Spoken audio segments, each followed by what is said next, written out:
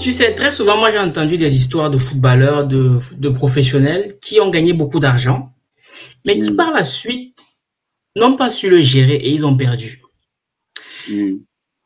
Et toi, je me rends compte que dans ton cas, tu n'as pas connu cette, euh, cette situation où tu as, tu as touché le sommet et ensuite tu as encore tout perdu. J'aimerais savoir comment est-ce que toi tu fais pour te prémunir face au fait de perdre son argent, justement? Que l'argent, une fois gagné, puisque tu sors d'une famille, on va dire, euh, précaire, comment tu fais pour ne pas perdre cet argent-là? Comment tu fais pour pas que cet argent-là te monte à la tête, quoi? Bon, moi, je suis quelqu'un qui lit beaucoup. Oui. Je suis quelqu'un qui lit beaucoup. Je vais prendre peut-être un livre derrière dans ma bibliothèque. Oui. Ouais, ici, j'ai les livres Les lois du succès. Les lois du succès, euh, les Napoléon Hill. De Napoléon Hill, oui. Nous avons ça en trois tomes. Vous avez les lois du succès, tome 1, tome 2 et tome 3. Si vous lisez euh, ces livres, il y a un chapitre sur euh, euh, la, dis- la discipline ou la maîtrise des soi. Oui. La maîtrise, la maîtrise des soi.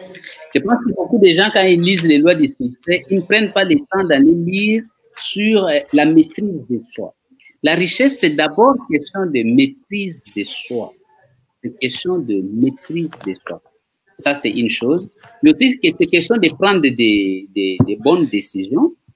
Euh, Aujourd'hui, par exemple, on voit quand les gens parlent de, de devenir riches, pourquoi beaucoup de gens perdent l'argent? Parce qu'ils ne savent pas aussi que c'est un monde où il y a beaucoup de pièges.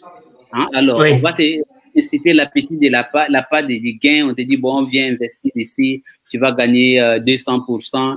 Et tu n'as pas le temps de vérifier la fiabilité des gens qui te demandent euh, d'investir avec eux. Tu n'as pas le temps de, vérifier la législation.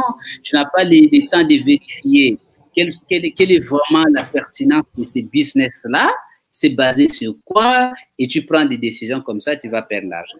Mais je- aussi, je voulais vous dire que oui, mais dans le monde, dans le monde de, de- de- d'entrepreneuriat, on perdra toujours l'argent, qu'on le veuille ou pas. Au moins une ou deux fois, ça arrivera toujours. Ça arrivera toujours et c'est normal. Le problème, c'est quoi? Quelqu'un, quand il perd un 100 dollars une fois, il, il, il- il en souffre toute la vie que ça devient euh, euh, une plaie incurable.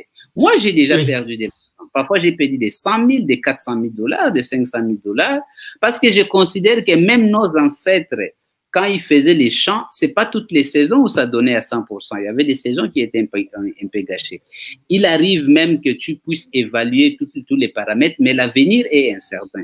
Mais je trouve toujours que le fait d'avoir beaucoup plus de connaissances et beaucoup plus de maîtrise m'évite souvent de prendre certaines décisions euh, euh, aléatoires. Et d'ailleurs, même si je perds tout l'argent que j'ai gagné, mais je crois que euh, ma, ma véritable fortune, c'est ce que j'ai accumulé comme connaissance dans euh, les dix dernières, les, les- je crois, les dix dernières années. C'est Oui. l'expérience, les réseaux que j'ai créés et que je me dis que moi, euh, je suis en moi-même la richesse. Je peux recommencer aujourd'hui et, et remonter encore, aller le plus loin possible.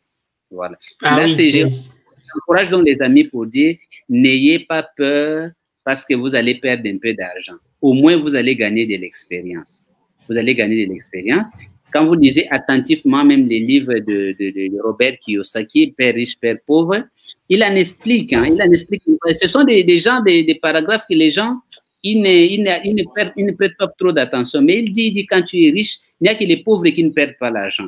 Mais quand tu es riche, tu auras toujours l'occasion de perdre l'argent. Mais finalement, en fin de compte, ce que tu gagneras sera toujours supérieur à ce que tu auras perdu et ça va couvrir les, ces, pertes. euh, voilà, ces pertes-là. Voilà. Mais on doit marcher tout euh, perdre, la peur de perdre. Parce que si tu as la peur de perdre constamment, tu vas aussi perdre. Voilà. C'est la question exact. que les gens, me posaient. Oui, mais eh, la chèvre là de ta mère, et si on l'avait volée? J'ai dit, mais voilà, on, a- on ne pensait même pas négativement qu'on pouvait voler la chèvre. On pensait seulement à la possibilité que la chèvre puisse se multiplier. Parce que, euh, ça me fait de l'attraction. Ce sur quoi nous sommes concentrés, c'est ça qui arrive. Voilà.